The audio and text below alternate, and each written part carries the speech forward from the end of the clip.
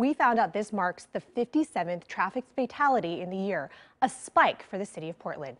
Tonight, our Jacqueline Abad is digging deeper. She spoke with investigators. She's live right now with their message. Jacqueline.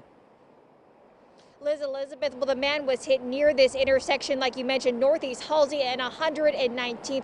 Now, we don't know the victim's name, but investigators tell me that he died two days before his 41st birthday. His birthday would have been the day after Christmas. Now, in this case, there are no witnesses and little evidence left at the scene.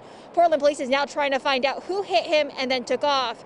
Investigators say it appears the man was walking in the bike lane or the shoulder along Halsey when the driver hit him and continued driving east east. That man flew 200 feet. Investigators believe the driver was in a sedan or small SUV. Now, this year, there's been a spike in traffic deaths. In 2020, there's been 50 seven so far. Now, if you compare that to 2014, there was 28 deaths that year, and back then, PPB Traffic Division had more staffing. The, Portland Police Bureau is trying to do their best, um, but we need people to drive safely. The Traffic Division is about ready to take a major slash and cut in personnel uh, again.